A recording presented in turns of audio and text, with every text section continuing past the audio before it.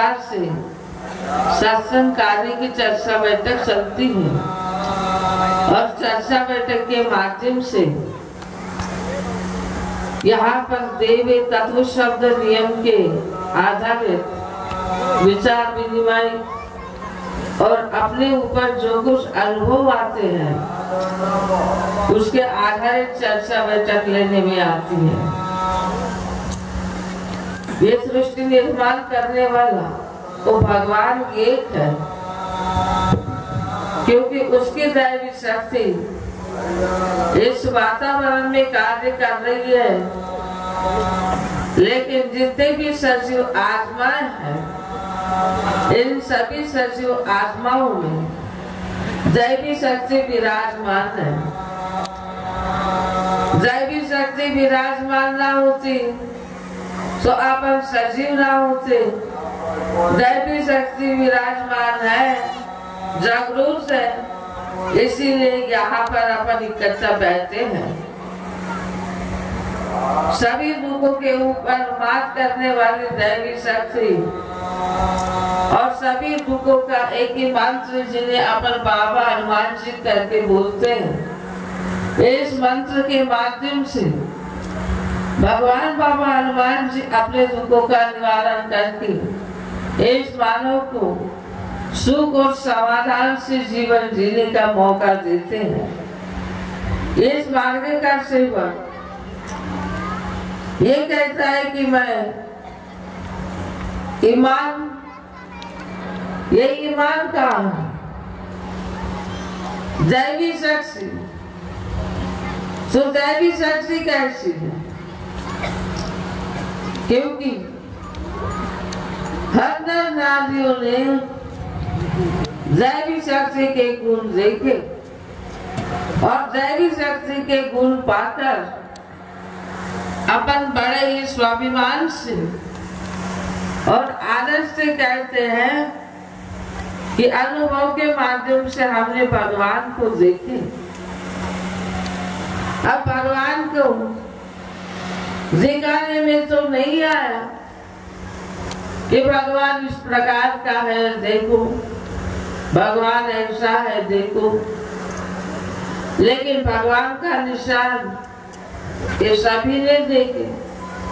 और दैवी शक्ति के गुण भी अपन ने अच्छे से देखे। अपना जीवन,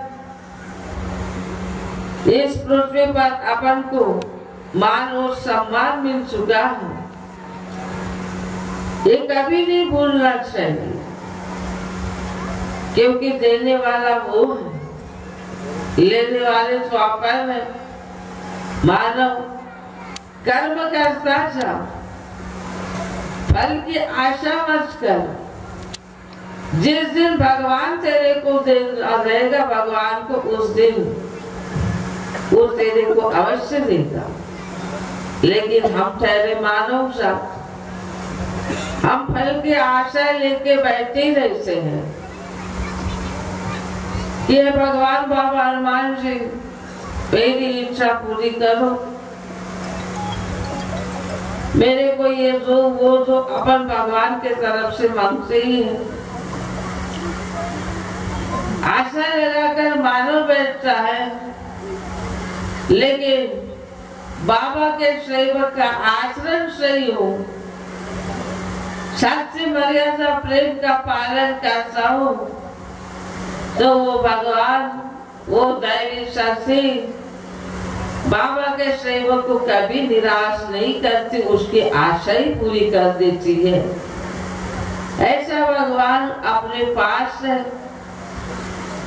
अपन कैसे हैं, कार्य करो, फल की आशा मत करो। आशा न करने वाला ऐसा कोई मानव नहीं। हर मानव कर्म करता है और कार्य करते समय हर एक इच्छा भगवान के सामने रखते जैसा जब तक के इस पृथ्वी पर अपने आकाश में सांस है, वो खटिया का भी क्यों ना हो गए? लेकिन आशा ये कभी मरती नहीं, यादें कभी मरती नहीं।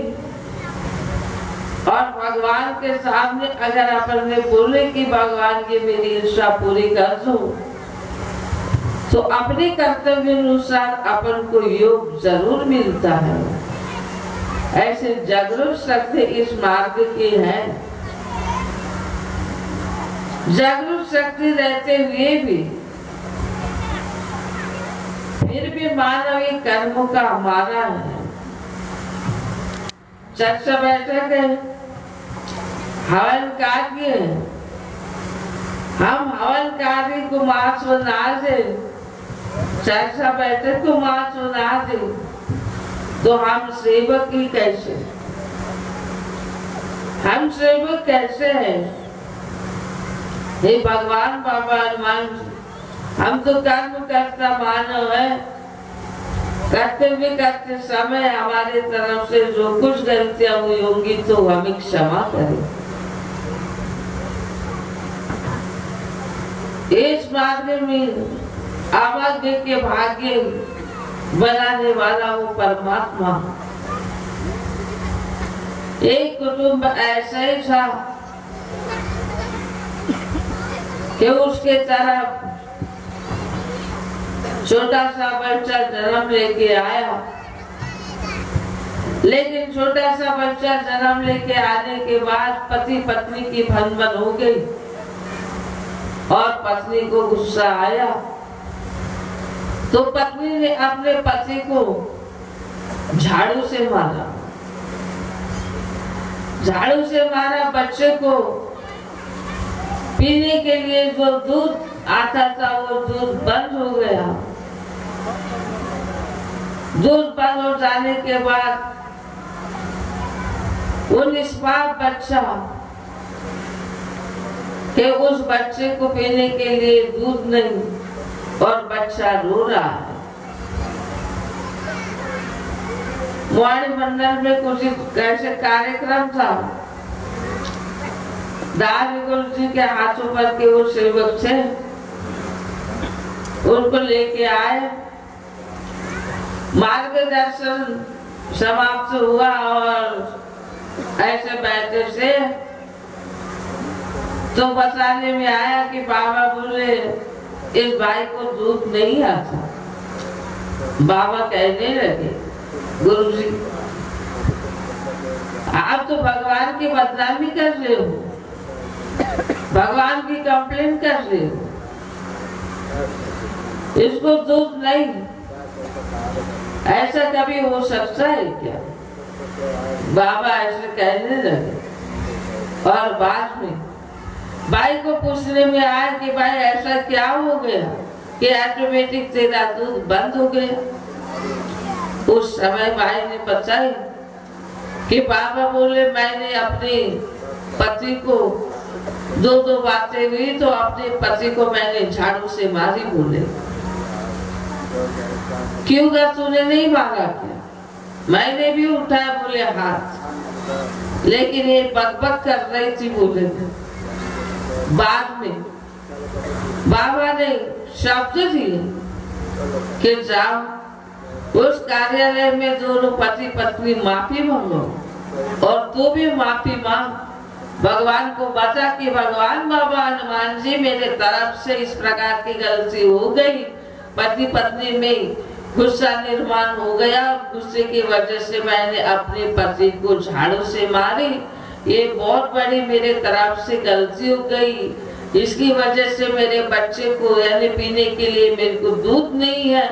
मैं अपने बच्चों को दूध कहा से पिलाऊ, ऐसे भगवान को विनती कर। उस भाई ने वैसे ही माफ़ी मांगी, पति पत्नी ने मिलकर और माफ़ी मांगने के बाद बाबा पूछने लगे कि भाई दूध को लगाई क्या? उस समय बताने लगे हाँ बोले, अभी दूध आ रहा है, बच्चा दूध पी रहा है, बोले। ऐसी दैवी शक्ति जागरूक रहती है।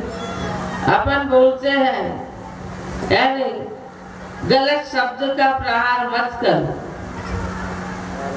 नारी के लिए यानी अपने घर के पति के बारे में या बच्चों के बारे में गलत शब्द का इस्तेमाल मत करो। लेकिन ये शब्द हर नारी को ही लागू नहीं हो सकता हर सेवक को भी लागू होता है। लेकिन अपने मुँह से कभी भी शब्द संभाल के बोलिए, शब्द को ना हाथ ना पाओ, एक शब्द करे, भलाई दूसरा करे, घाव शब्द कब जख्म करेगा, इसका कोई भरोसा नहीं। और कहते हैं, हम बाबा के सेवक। सच सच सुनने के जिसमें साहस हो, वो सब कुछ पचा लेता है। सबकी बातें ग्रहण कर लेता है। और जिसमें सच सुनने की साहस ना हो तो वो कैसा बाबा का सेवक है? वो बाबा का सेवक कैसा है? ऐसे कई प्रकार के अनुभव इस मार्ग में है। हरि भाव कुंभारे के पत्नी को, हरि को लड़के बच्चे नहीं थे, उसने दूसरी पत्नी किया था उसको भी नहीं थी। लेकिन उसकी बहन बच्चे ला उसके पेट में चीप थी। और वो चीप दर्द दे रही थी। बाबा का दौरा इधर ग्रामीण में ही था। वो बाबा के निवास स्थान गई उसको पता चला कि बाबा नहीं है। तो उसने अपने मन में क्या कहने लगी? भगवान बाबा, हनुमान जी वैसे मानते कि बाबा सुंदर जी मेरे पेट में चिप है। अगर ये चिप का अगर बच्चा हो जाएगा तो मैं ये बच्चा भगवान को अर्पण कर दूँगी। ये शब्द उसके भगवान ने पकड़ लिए हरि कुंभारे के पत्नी को सपना दिखता था रात में कि एक बच्चा आता था, उसका दूध लेता था, सवेरा हो गया कि वो बच्चा गायब हो जाता था। ये सपना बाबा इधर से जाने के बाद उन्होंने बाबा के पास बताया। बाबा कहने लगे, देखो भगवान है आगे क्या कराता है बता नहीं एक शब्द बाबा ने बोले, अब जो कुछ कराने वाला है, वो भगवान कराएगा एक बाबा ने बोले, बाद में वो बच्चा आई बाबा बोले, ऐसा ऐसी मैंने शब्द बोली थी, बोले। ठीक है। जैसे जैसे दिन नज़दीक आए, बच्चा जन्म लेके आया अब बच्चा जन्म लेके तो आया। लेकिन जन्म लेके आने के बाद शब्द भूले समान हो गई। बच्चे के ऊपर निर्माण हो गई। अब क्या करें? इसीलिए बाबा के तरफ़ आए। बाबा के तरफ़ आने के बाद बाबा को बचाने लगी। बाबा कहने लगे जैसे तूने बोली, वैसा तेरे को करना पड़ेगा। ठीक है बाबा जाओ और अपने अपने पति से सलाह मशूरा कर। तेरा पति क्या बोलता है सुन। अपने पति को बताई। उसका पति बोलता है, जैसे तूने बोली, वैसा तेरे को करना पड़ेगा। बाबा को बताने में आया, बाबा ने दिन निश्चित करके उस बच्चे को रखने में आया। और हरि कुमार उसको, उसके दोनों पत्नी को भी बुलाने में आया। बाबा कहने लगे, बच्चा ला तो बच्चा अगर बच्चा लेते समय तेरे आँखों में पानी नहीं चाहिए अगर तेरे आँखों में पानी दिखेगा तो भगवान तेरा बच्चा कदापि नहीं देगा। ठीक है बाबा बाबा। बताने लगे वहाँ के सेवक को कि देखो इसके आँखों में पानी खिलता है क्या? अगर इसके आँखों में पानी खिलेगा तो भगवान बच्चा नहीं ले। उसके तरफ़ देख रहे थे और देखते देखते बाबा कहने लगे कि जयघोष करो कर। जैसे जयघोष किए, वैसे हरी कुंभारे के पत्नी को दूध आना चालू हो गया। इतना दूध आया कि एकदम टटके दूध आए अच्छे से। और बाबा कहने लगे, उसके तरफ़ देखने लगे, जिस भाई के कोख से बच्चे ने जन्म नहीं लिया, लेकिन उसके कोख से जन्म न लेते हुए भी उस भाई को दूध आया। और दूध आने के बाद बाबा कहने लगे हरी जा और उस बच्चे को उठा ले उसने उठाया और अपनी पत्नी के पास दिया। भाई, दूध को लगा ले। उसने दूध को लगाया। देखो, बाबा ने उसको बोले थे कि हरी तो अभागा है तो चाहे कितनी भी पत्नी करेगा, लेकिन तेरे नसीब में बच्चा नहीं है। लेकिन अभाग्य के भाग्य बनाने वाला और जिस भाई को संतान हुई नहीं जिसकी वो सुनी थी, उस भाई को दूध देने वाला वो भगवान था। वो दैवी शक्ति थी, उस दैवी शक्ति ने उसको दूध दिया और बहन का लड़का, वो भाई का हो गया। कैसा भगवान है, कैसी दैवी शक्ति है। कैसी दैवी शक्ति है। नहीं तो जिसने अपने कोख से बच्चा ही नहीं ये देखा उसको भला कभी दूध सकता है। इसीलिए अपने इस मार्ग की दैवी शक्ति जागरूक है। लेकिन इसको अपन इस मार्ग के सेवक सत्य कैसा है? सत्य परेशान होता है, लेकिन सत्य पराजित कदापि नहीं होता। होता है क्या? सत्य परेशान होगा। सत्य ये परेशान होगा सत्य ये कड़वा लगेगा सत्य थोड़ी देर के लिए बुरा लगेगा लेकिन सत्य वो सत्य ही रहेगा। रहेगा या नहीं रहेगा सत्य सत्य ही रहेगा। इसीलिए कोई अगर कोई ऐसे भोगते भी होंगे ना किसके तरफ़ देख कर कुत्ते भोगते हैं? जो बुरे रहते हैं उसके तरफ़ तो अपन बुरे ही हैं। तो अपने तरफ़ देखकर कुत्ते भोगेंगे। गुरु जी ने बताई मार्गदर्शन में कि लता भाई की, बाबा की और गुरु जी की करते करते। करने तो गुरु जी रास्ते से चलते हैं तो कुत्ते भोगते हैं।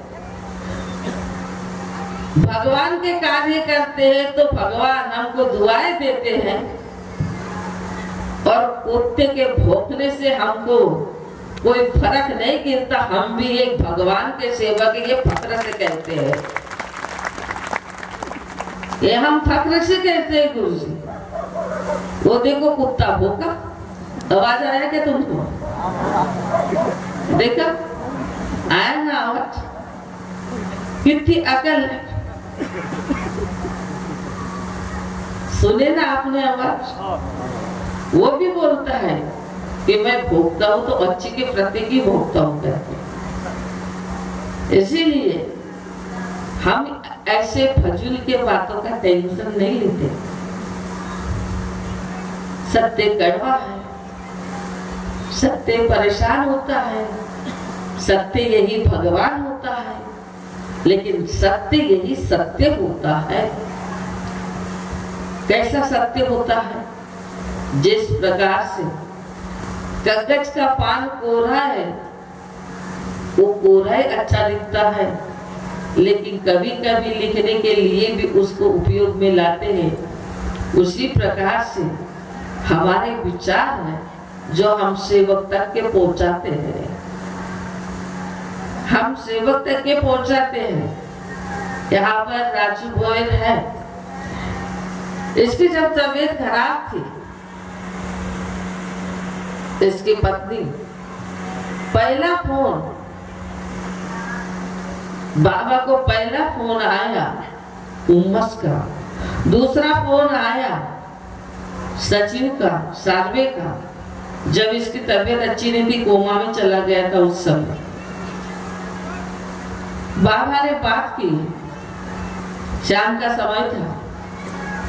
दिल्ली के नज़दीक दौरा था। वहाँ पर दौरा था शाम के तीन या चार बजे थे शायद। बाबा गाड़ी में थे। नाबिन कहता है, बाबा, मैं थोड़ी देर सोता हूँ। ठीक है? उतने में फ़ोन आया।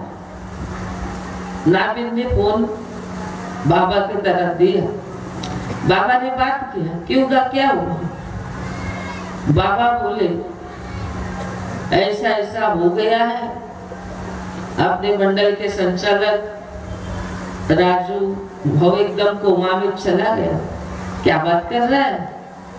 हाँ बाबा बोले, एकदम सीरियस है, बचना मुश्किल है।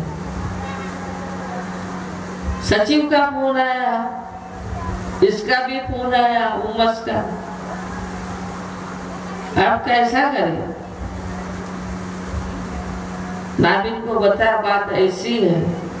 नाबिन कहने लगा, अचानक क्या हो गया बाबा? कोमा में जाने के लिए कुछ तो बताया फिर सचिन ने, कि गिरा करके बाइक से। तो चूरी वगैरह कुछ तो लगी। ठीक है। शाम के समय सभी सेवक को इकट्ठा करने में आया।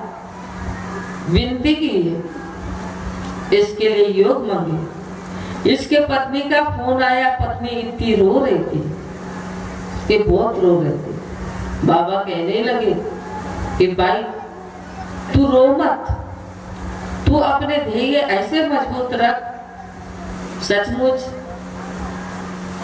तेरा प्यार है मेरे पति पर। विश्वास है। लेकिन हम जानते हैं कि तेरा पति, तेरे पति के मन में चल विचल ऐसी भावनाएँ निर्माण होती है और आत्मबोल के प्रति अविश्वास निर्माण करता है। लेकिन खैर, छोड़ वो बात। अभी तू बहुत ही दुविधा में है।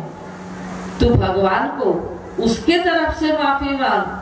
कि भगवान बाबा हनुमान जी मेरे पति का विश्वास नहीं आत्मा बोल के ऊपर और किसी ऐरे गहरे के शब्द में जाकर अंदर से विरोध दर्शाना चालू करते हैं, लेकिन जो कुछ गलतियाँ मेरे पति के तरफ़ से हो गई होंगी तो मेरे पति को क्षमा करे, लेकिन मेरा पति कोमा से बाहर आने को होना।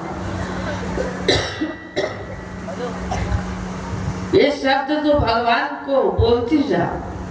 तू जहाँ है वहीं पर बोलती जा। एक घंटे में बीस बीस मिनट के बाद तू विनती करती जा और बोलती जा। भाई का और फ़ोन आया। बाबा बताओ ना, रो रही थी। भाई, तेरा विश्वास भगवान के ऊपर है ना। उसको कुछ नहीं होगा। सचिव का फ़ोन है बाबा, कैसा? तू कैसी बात कर रहा है जिसके आयुष्य भला पूरे नहीं हुए होंगे, उसको भला भगवान कैसे ले जा सकता है? नहीं ले जा सकता। दूसरे दिन भी उधर ज़ोर चलाया बैठक के समय उस समय में भी योग मांगे सबने। यानी इसके लिए योग मांगते गए पत्नी ने उधर पति के उम्र के लिए योग मांगती गई। और बाद में फ़ोन आया कि बाबा बोले, सचिव का फ़ोन आया। बाबा बोले, राजू भाव बोले, अभी बोले। कोमा से बाहर निकला, आईसीयू में निकला है, बोले, अभी बोले, अभी जान में जान आ गई, बोले। बाबा कहने लगे धन्य है तो भगवान। तेरी कृपा अपरंपार है। कि जिसकी जान तू बचता है, उसको सब कुछ तो देता है। लेकिन कभी कभी कुछ दिन के लिए या कुछ पल के लिए भी तू रुला भी देता है। यानी रुलाना और हंसाना उसके ऊपर है। ऐसे इस राजू के लिए योग बन लेकिन फिर भी ये राजू अविचारों में बदल ही जाता है और उसके उसके विचारों में खो जाता है। जब बाबा का दौरा उधर से आया और जब दिखा, बाबा कहने लगे, राजू कैसा है अच्छा हुआ बोले। अच्छा हूँ? अच्छा करके तो बोला, लेकिन फिर भी और विचारों में फ़र्क आया। फिर भी विचारों में फ़र्क कुछ पल अच्छा कुछ दिन अच्छा कुछ दिन और विचारों में फ़र्क फ़र्क ऐसा होता गया।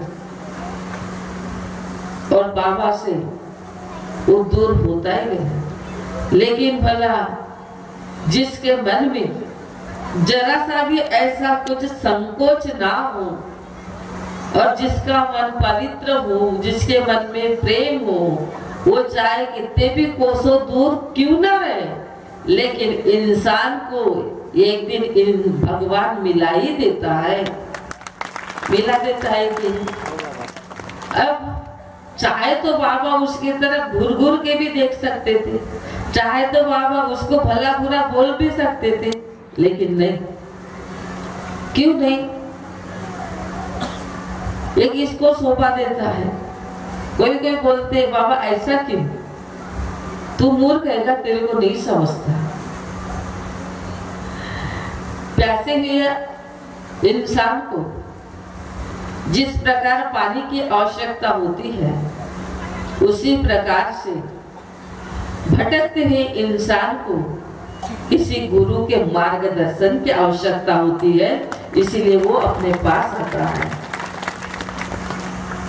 और अपन उसको ऐसे ही भगा देंगे। नहीं। आखिर गलतियाँ इंसान की तो तरफ़ से होती होती है। मानव की तरफ़ से होती है कि नहीं गलती?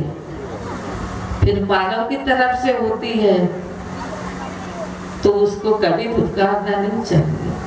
वो अपने कर्तव्य करता है, अपन ने अपने कर्तव्य करना चाहिए। अपन अपने कर्तव्य करना चाहिए। वो कई बार बाबा के सामने लेकिन बाबा ने उसके तरफ़ गुस्से से देखे नहीं। बाबा हमेशा हमेशा मुस्कुराते हुए नमस्कार। लोगों की गाली रहे या कुछ रहे, लेकिन बाबा ने अपनी मुस्कुराहट कम नहीं किया हंसकर इसीलिए अपमान करते हैं। लेकिन ऐसी भिन्नता निर्माण नहीं करना चाहिए। एकता का प्रतीक दिखाना चाहिए, लेकिन इंसान ने भी कुछ कद्र करना चाहिए कि नहीं, अब मैं जीऊं या मरूं? चाहे कुछ भी हो जाए, आंधी आए या तूफ़ान आए, लेकिन मैं बाबा के साथ रहूँगा मतलब रहूँगा। ये ध्यान अपन निर्माण करना चाहिए क्योंकि इस पृथ्वी पर प्रलय आने वाला है। 1980 के बाबा के शब्द थे, इस देश के नर नारियों ने। होने वाले प्रलय से बचने के लिए सत्य के प्रति की जाग जाए। जब प्रलय आएगा ना, जो तत्व, शब्द, नियमों का पालन नहीं करते, वो सभी बह जाएँगे।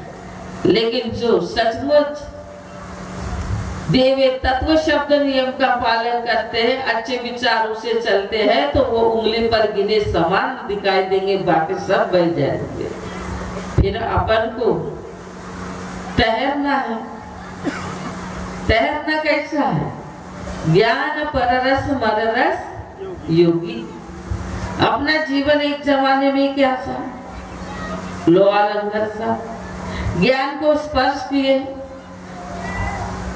परेश ने लोगन जैसे धातु को स्पर्श किए तो लोगन का सोना बन गया उसी प्रकार से। अगर हम तत्व शब्द नियम से चले, हमारा जीवन तो अभी सोना हो ही गया। लेकिन अगर हम तत्व शब्द नियम से चलेंगे तो हम सचमुच उंगली पर गिने समान दिखाई देंगे, हमारा भी नंबर उसी में आएगा। आएगा या नहीं आएगा इसीलिए तत्व शब्द नियम का पालन करो।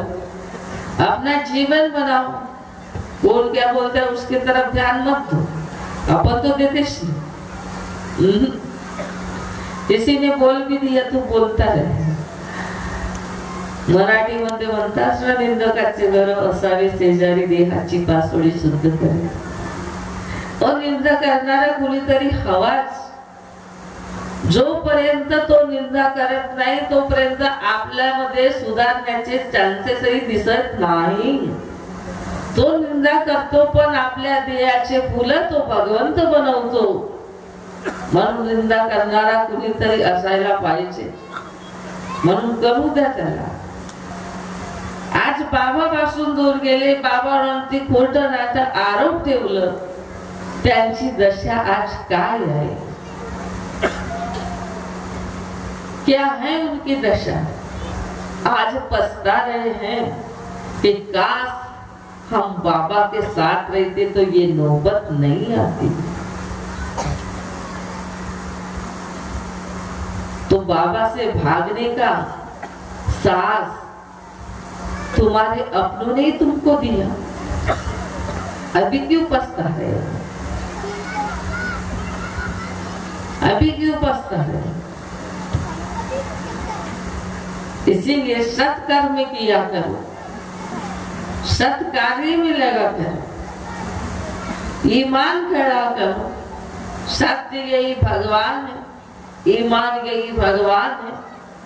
और तत्व शब्द नियम का ज्ञान, ये आईने की तरफ़ अगर रोज़ाना देखोगे या उस आईने को अपनी कृति में उतारोगे तो सचमुच तुम्हारी ये काया अवश्य बदल जाएगी। ये बाबा आज कह रहे मुंडरी गाँव में।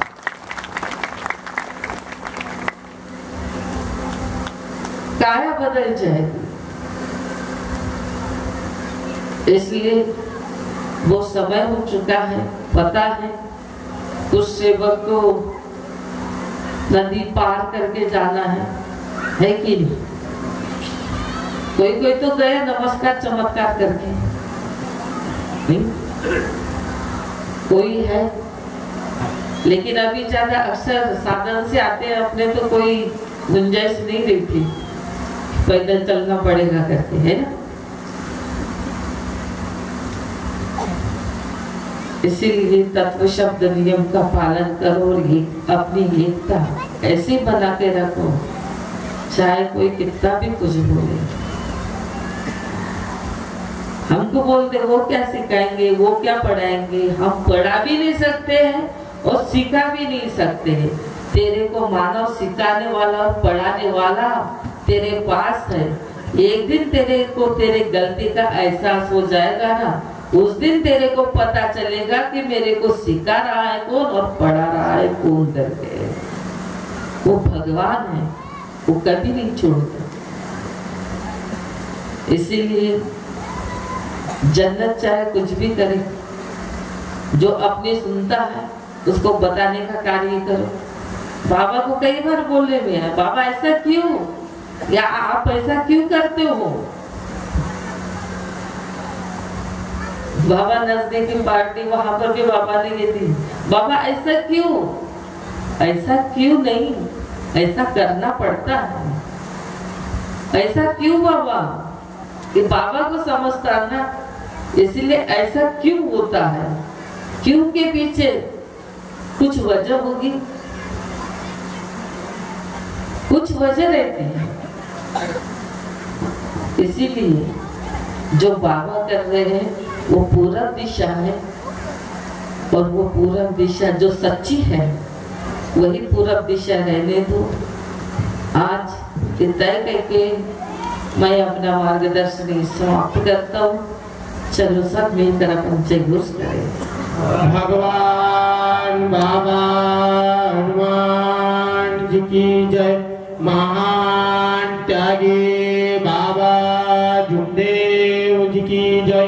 परमात्मा सत्य मर्यादा प्रेम कायम करने वाले, अनेक वाइट वेशन बंद करने वाले मानव धर्म की जय। नमस्कार।